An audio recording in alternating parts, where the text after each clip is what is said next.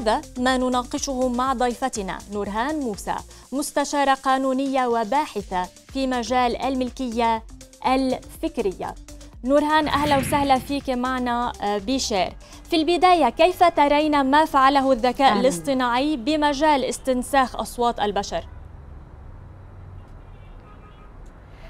الفكرة الحقيقة أنها مش جديدة خاصة وأن إحنا بقالنا فترة بنسمع عن الديب فيك وده جزء يعني ال voice cloning أو التقليد أو استنساخ الأصوات عن طريق الذكاء الاصطناعي هو جزء من فكرة ال deep fake بشكل عام.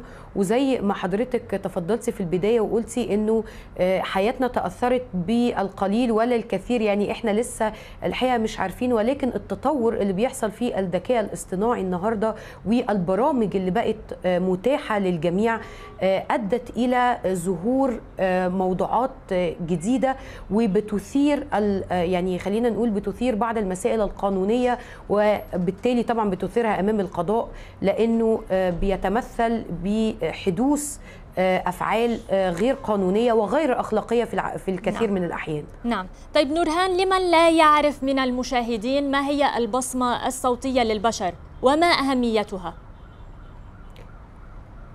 هي بشكل مبسط جدا هو عبارة عن التسجيل سمعي للموجات الصوتية لأي إنسان. وبالتالي يعني إحنا يعني لو جينا بصينا إزاي ده بيحصل عن طريق الذكاء الاصطناعي أنا النهارده بكلم حضرتك صوتي واصل واصل لك صوتك واصل لي أنا ممكن عن طريق التسجيل إن أنا أغذي ده للذكاء الاصطناعي وأبتدي أركب كلمات أو إن أنا يعني بداية بداية القصة شبه المونتاج إلى حد يعني يعني إلى حد كبير وإنما تطور طبعا مع الذكاء الاصطناعي. أهميته طبعا ليها أهمية كبيرة جدا خاصة زي ما حضرتك تفضلتي برضو في البداية وقلنا إنه بيستخدم في الكثير من الأحيان في الكثير من التشريعات والأنظمة القانونية باعتباره أحد يعني الدلائل أو الدليل لبعض حل القضايا في التحقيقات الجنائية بالأخص. فالفكرة كلها إنه له أهمية حتى من الناحية التجارية له أهمية من الناحية الأخلاقية. يعني فكرة إن أنا الصوت نفسه وهو أكثر تعقيدا. يعني إحنا ممكن في البداية نفهم إن الموضوع بسيط جدا إن مجرد ما أنا بسجل الصوت أقدر إن أنا ما أقدرش أميزه خاصة مع وجود الذكاء الاصطناعي. وإنما الموضوع له أبعاد تقنية أخرى وفنية أكثر تعقيدا تعقيدا تعقيدا مما يبدو عليه. نعم. ولكن برضو يعني فكرة إنه الكثير يعني كان في دراسات مؤخرة إنه في الكثير من الأحيان جرائم زي جرائم الابتزاز النهارده عن طريق التليفون مش بنقدر أو الإنسان ما بيقدرش يميز بين الصوت المستنسخ والصوت الحقيقي. نعم، طيب هل هناك قوانين معينة تحمي ملكية كل فرد لبصمته الصوتية أم أن الأمر أصبح مفتوحا ويمكن سرقة واستنساخ البصمة الصوتية لأي إنسان؟ طيب خليني عشان أرد على حضرتك في السؤال ده خلينا في الأول في البداية نتفق أن التطور في امن المعلومات والتطور في التكنولوجيا بشكل عام غير حاجتين مهمين جدا غير شكل الجريمة من ناحية وحتى الدليل من ناحية أخرى وبالتالي تنفيذ القانون. فبالتالي أنا النهارده عندي قوانين بشكل عام بتحمي خاصة قوانين الملكية الفكرية بتحمي مصنفات معينة. للأسف في الكثير من الوضع الدولي وفي القوانين الوطنية هنلاقي أن الصوت في حد ذاته ليس من ضمن الأشياء المحمية أو من المصنفات. يعني الصوت في حد ذاته برغم أنه في بعد آخر لما يكون الصوت مميز جدا زي ما إحنا بنقول أن في مذيع معين أو مغني معين له الصوت مجرد ما نسمعه نقدر نبقى عارفين هو مين ده بيبقى صوت مميز بيحمى عن طريق الملكية الفكرية ولكن بشكل مختلف للأسباب أو الأغراض التجارية. لكن الصوت في حد ذاته ليس محمي. إنما فكرة إن أنا أعمل استنساخ عن طريق الذكاء الاصطناعي في تداعيات قانونية أخرى وبالتالي ممكن إن أنا النهارده استنسخ صوت في قوانين كثيرة بس التصنيف نفسه أو التصنيف أو تكييف الواقعة نفسها بتاخد شكل قانوني آخر.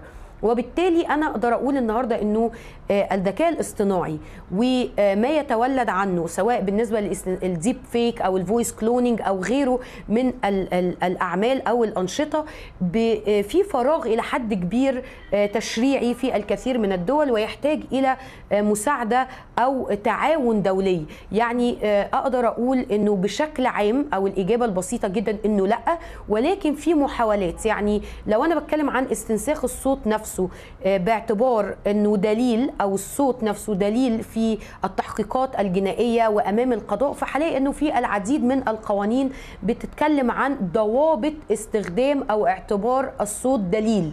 نعم. زي بالظبط كيف يتم اعتماده؟ الأذن وهكذا. نعم كيف يتم اعتماد البصمة الصوتية كدليل في القضايا الجنائية؟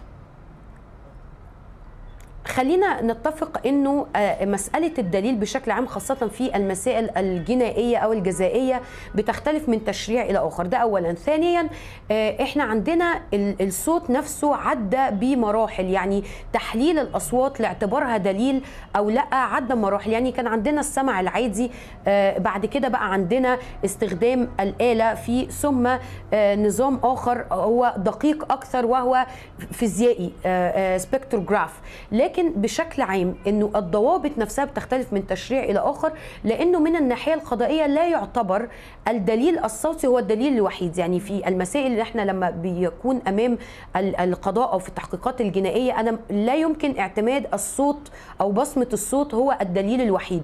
وفي بعض الأحيان لأنه النهارده إحنا بنتكلم عن تكنولوجيا عالية جدا خاصه في إنه زي ما كنت بقول لحضرتك إنه ساعات ما بنقدرش حتى الأقربين ما يقدرش يميز إذا كان هذا الصوت معمول عن طريق الذكاء الاصطناعي أو الصوت البشري الحقيقي فهنلاقي إنه في معاملات تقنية عديدة جدا خاصة إنه النهارده خطورة الذكاء الاصطناعي في هذا الأمر إنه نعم. ابتدى يبقى في نوع من إنه مش بس الصوت أو تقليد اللزمات إنما في التردد الحدة الإيموشنز اللي إحنا بنسمعها في الصوت أو المشاعر في الصوت كل ده النهارده أخذ يتطور فبالتالي هذه المسألة من الناحية الإجرائية أصبحت صعبة وبالتالي إنه فكرة برضو التكنولوجيا يعني إحنا النهارده لما بنيجي نتكلم عن الدليل استخلاص الدليل مثلا من الهارد العادي نعم. تطور يعني الأدلة الجنائية أخذت تتطور مع تطور التكنولوجيا الفكرة كلها إن أنا ما بعتمدش عليه بشكل وحيد ويمكن إن أنا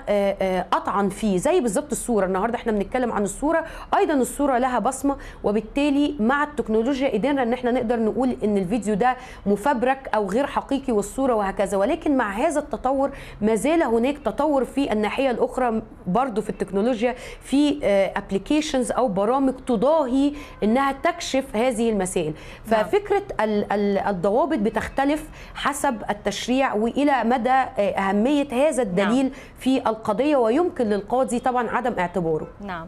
كل الشكر. كنت معنا نورهان موسى مستشارة قانونية وباحثة في مجال الملكية الفكرية. كل الشكر لك.